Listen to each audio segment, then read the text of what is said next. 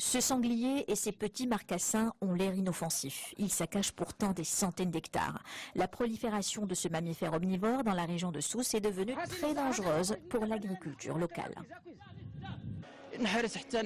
Les sangliers ravagent tout ce que je cultive. Les amandiers, les araganiers, il ne fait pas de quartier.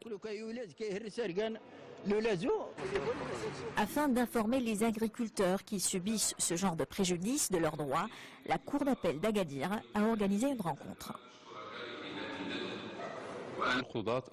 Les magistrats se heurtent parfois à certaines difficultés dans l'application des textes de loi dans ce genre de dossier. Ils doivent, tout en respectant l'esprit de la législation, trouver des solutions. Le but de cette conférence est de sensibiliser les agriculteurs sur ce sujet et leur expliquer les conditions requises pour être indemnisés.